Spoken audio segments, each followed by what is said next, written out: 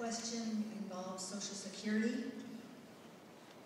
Currently, if somebody works in private industry and they work 15, 20 years, they earn a retirement, they can have it held until they're old enough to retire, they go on to another business, they earn another retirement, and they can have both the Social Security.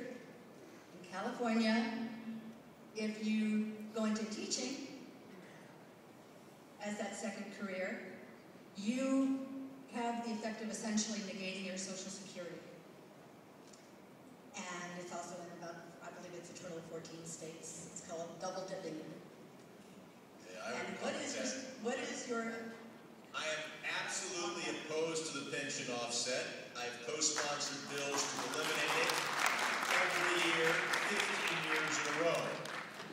That's the easy part of the answer. That would probably be enough for you. But then you gotta say, well, Sherman, how are you gonna pass that when everybody's talking about there not being enough money in the Social Security Trust Fund? It's easy to promise benefits, but you're never gonna pass it if there isn't the money in the fund. So I did something much, much more difficult than telling you that I stand with teachers here in California and police officers here in California. And just to, to, to, uh, to talk about this, a lot of people work for private employers where there's a pension plan, and of course you contribute to Social Security.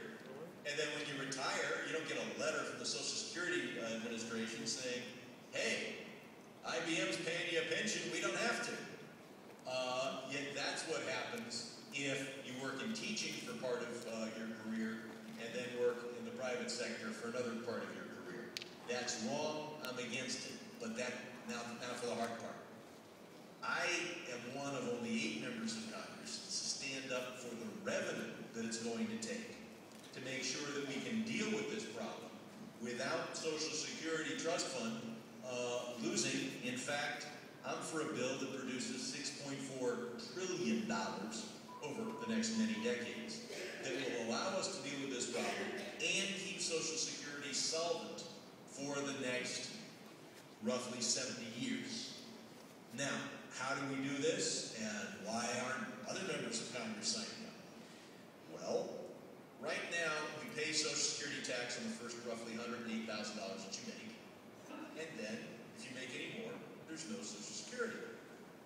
What this bill that Senator Sanders billed in the House, Maura Mauricinci and I and uh, DeFazio, uh, DeFazio and I are pushing it in, the House rather than Sanders in the Senate, is to say, okay, you pay Social Security the first 108, and then you don't pay Social Security until you hit 250, but then at 250, you pay the Social Security tax.